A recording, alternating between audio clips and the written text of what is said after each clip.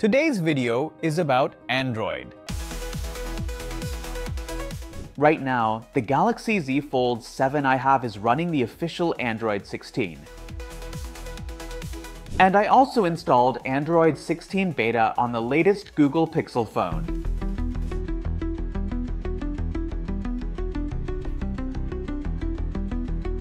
According to Android, they will be officially releasing it for Google Pixel devices soon, followed by Samsung and other devices shortly after.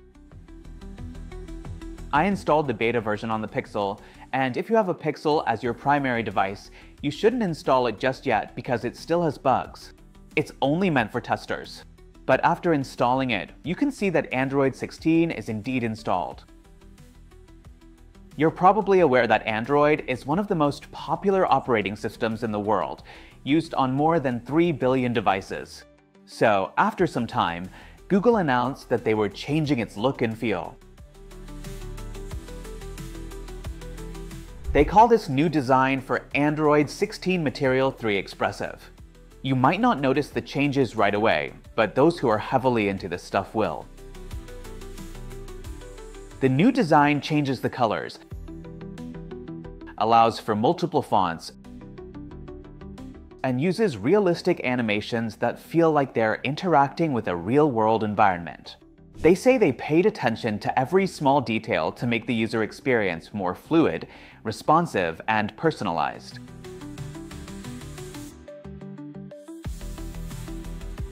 About four years ago, I made a video speculating on what it would be like if features like these came to the always-on display for Android smartphones, which were just beginning to be explored at the time. When you're playing Song on your phone, if the ambient screen is playing like this, we don't actually need to turn on the main screen or wake up the phone. So imagine if we could answer a call without waking up the phone, and as we said before, you wouldn't need to turn on the screen for that either. With the phone screen on, the Google Maps app drains the battery quickly. So I think it would be a big advantage for us if an app like Google Maps, which is used often, could be supported on the always-on screen. Google has now mentioned that they're giving us the opportunity to use these features. When you request an Uber, you don't need to keep the notifications on. They say they're giving you the feature to show it directly on your lock screen like this. So, the things we were hoping for four years ago are now starting to be delivered by Google.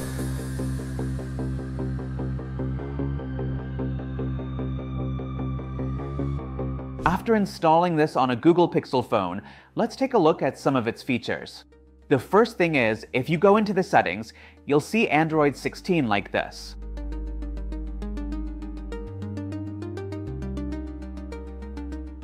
I locked the screen because we can start with the cool stuff on the lock screen.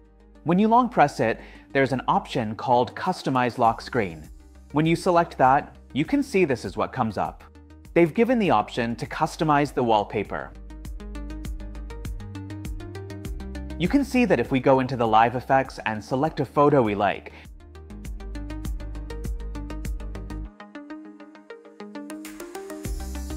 the AI scans and beautifully cuts and manipulates the photo for us.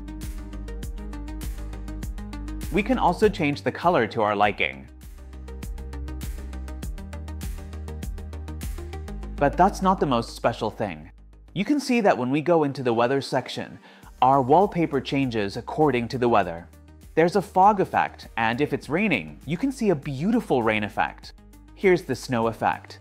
They've also given us the ability to increase or decrease the intensity. And if it's a sunny day, we can see it with a flare effect. Next up is cinematic. You can see that it's preparing to turn on the 3D motion. The AI scans the image and creates it for us. If I apply this now, you'll see that's how the lock screen and wallpaper will look. Also, look at how much life they've tried to give to the animations we talked about earlier. Instead of just moving up and down, they're trying to give us a feeling that things are happening like they would in the real world.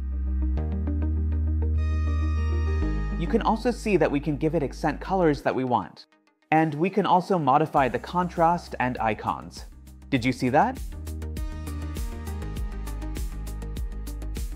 The icons automatically adjust to the theme and wallpaper color. Next is the layout.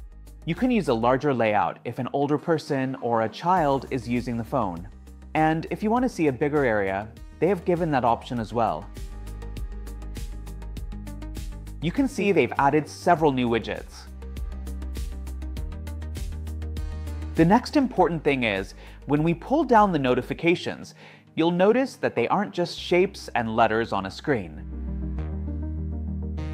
You can see it gives us the feeling that they're peeling off. As you pull down the notifications, you can feel that they're attached on the sides, and they feel like they're peeling off. They've also tried to give us this feeling through the haptic vibration, and you can really feel it.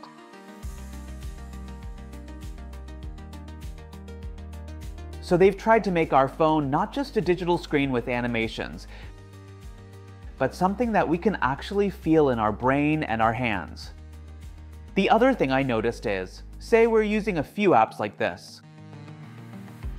When we take the app up like this, you can see the peeling off effect and a little bounce on the sides when it lands.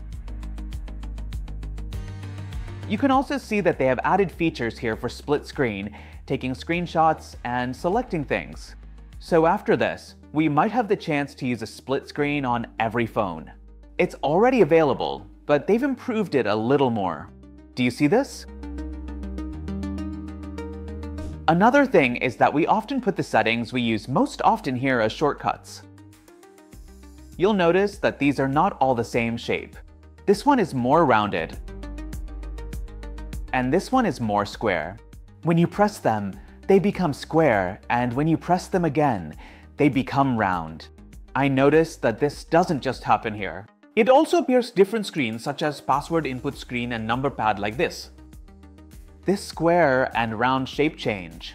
So it's clear that they are trying to do something different from the traditional way it's been. When I try to change the shortcut settings, you can see we can put the shortcuts we want on top. The other thing I noticed is that we can select one we like and increase its length. And you can also shorten it again you can see how they move beautifully and arrange themselves correctly. We can also change these things, and they will automatically rearrange themselves. So you can even customize whether you want them with or without text. When you look at the settings as well, you can see that they are colorful. They have used different colors to make it easier for us to understand things quickly. Even when AI tools like ChatGPT and Gemini give us an answer, they try to help us understand with icons and colors like this. So we can understand that Android is also trying to give us the emotions that colors have.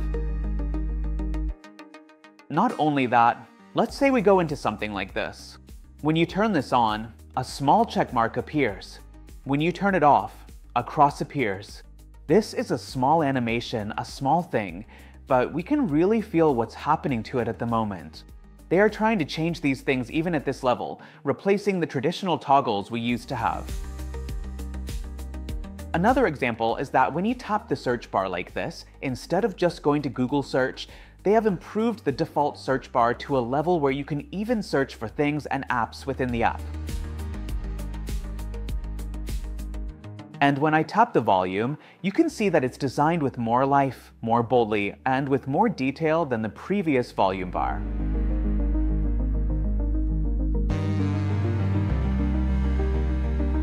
You can see that it's also advanced to a level where we can change the volume like this. Sometimes, some Chinese phones have even done what Google has officially done. You might have had a chance to know about and see this.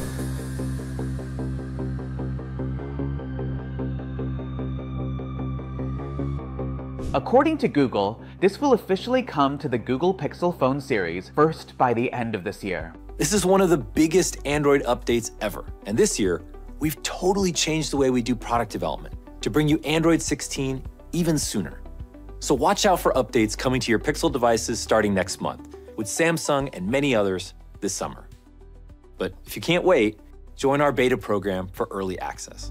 I'm holding the Google 9 Pro XL phone. This means that when the next Google Pixel phone officially gets this OS, the other Google Pixel phones will also get the official update. After that, it will be available for other phones as well. However, sometimes you might feel that Android 16 has been given to Samsung's Fold 7 phone even before the Pixel.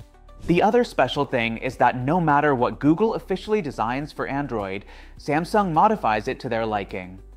Oppo modifies it according to their own preferences and needs. Honor modifies it to their liking. So we have a small problem. No matter what design language or feel Google brings to its Android design, the other companies, the other smartphone companies, customize it to their liking, except for the main features. So if you want to get the feel that Google provides, you'll often have to get it with a Google Pixel phone. However, this isn't just for phones. As you know, Wear OS runs on smartwatches. They have added a lot of features to this as well, especially when it comes to AI. Although people started talking about AI with ChatGPT, Google has already dominated this. People have started using Google's Gemini more. We can use Gemini on every Android phone and with Android 16, you will have the opportunity to experience a lot of other things when you install Gemini on a Pixel phone and other phones. So, we're moving forward to AI era. It will be important for getting things done. I won't talk about that here, because there's so much to discuss that we'll need to make a separate video for it. People only understand the things related to its appearance. They only pay a lot of attention to those things. That's why I focused on that the most in this video as well.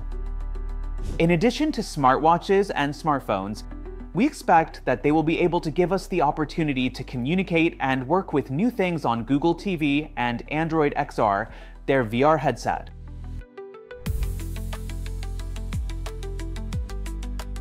Also, Android has released a lot of features regarding their security, data security, how to get more work done with the device in hand, and how to use them safely.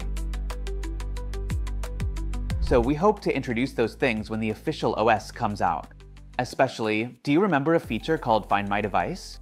They're in the process of transforming it into a Find Hub. So they have tried to use this single feature to find things like your phone, earbuds, and even bags. They also know that people like to see where their family members and friends are live. So it seems that through this feature, they are also providing a feature to share live locations with your friends, family, and loved ones with permission. What phone are you using right now? And what Android OS version do you have? I'd like to know the version. You can use the comment section below for that. And if you have any other input to give on this, please put it in the comment section below. Don't forget to subscribe to CyberHQ. If you haven't already, go to YouTube and search for CyberHQ to subscribe and click the notification bell. You can also follow CyberHQ on Instagram and TikTok. Thank you so much for joining me. We'll be back soon with more new videos like this. Don't forget to share this video with your friends and anyone who loves to learn about new tech.